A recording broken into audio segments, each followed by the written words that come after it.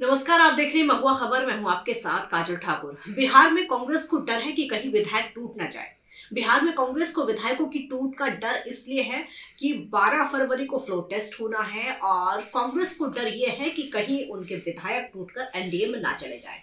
12 फरवरी को floor test होना है, उसके वैसे पहले जो विधायकों की जोड़ तोड़ चल रही है, उसको लेकर कांग्रेस में बहुत ज़्यादा डर है। आपको यहाँ ये भी बता दें कि कांग्रेस के पास सिर्फ़ और सिर्फ़ 19 विधायक हैं। और यही वजह है कि उस डर की वजह से कांग्रेस ने अपने 19 में से 16 विधायकों को बैंगलोर भेज दिया। है बैंगलोर के एक रिजोर्ट में रखा गया है।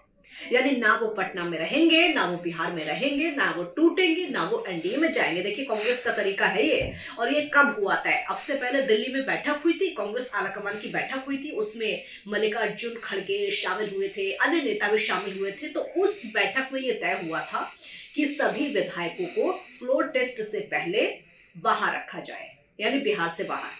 तो उनको बैंगलोर भेज दिया गया है। यानी एक तरीके से झारखंड की रणनीति के हिसाब से चल रहा है। झारखंड में भी ठीक वैसे ही हुआ था और ठीक वैसे ही अब बिहार में चल रहा है। तो सोलह विधायक कांग्रेस ने अपने बिहार से बाहर भेज दिए हैं, क्योंकि खबरें ये भी चल रही हैं, तकरीबन चौदह विधायक एनडीए के संपर्क में हैं। अगर चौदह विधायक एनडीए के संपर्क में है तो ज़ाहिर सी बात है वो टूट सकते हैं और टूटकर एनडीए में जा सकते हैं। इस बात की भनक कांग्रेस को लग गई, इसीलिए कांग्रेस ने पहले से ही पत्ता साफ़ कर लिया, अपने आप सेफ़ पॉइंट लेकर चल रही है। अपने विधायकों को बिहार से बाहर भेज दिया गया है। अब हम तेजस्वी यादव की बात करेंगे, क्योंकि कांग्रेस को बहुत ज़्यादा डर है। देखिए, विधायक बहुत कम है, लेकिन डर बहुत ज़्यादा है। इतने से विधायकों को लेकर इतना बड़ा डर। उधर वो तेजस्वी की अगर बात करें तो तेजस्वी यादव के अलग बयान है। तेजस्वी यादव अपने पत्ते खोलने को तैयार नहीं है। तेजस्वी का कहना है कि मैं अपने पत्ते फ्लोर टेस्ट के दिन खोलूँगा। अब फ्लोर टेस्ट के दिन ऐसा कौन सा कमाल तेजस्वी करने वाले हैं? क्या वो कुछ और विधायक अपने संपर्क में ले आएँगे? क्या वो ऐसी कोई तैयारी कर रहे हैं कि जो नीतीश कुमार का बहुमत परीक्षण है, वो फेल हो जाएगा? क्या किस, किसी तरह की इस तैयारी में लगे हुए हैं?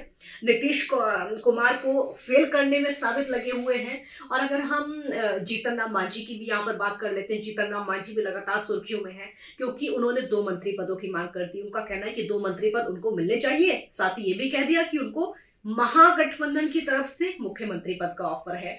अगर दो मंत्री पद उनको नहीं मिलते हैं एनडीए में तो शायद वो भी यहाँ से अपना पत्ता साफ़ कर सकते हैं।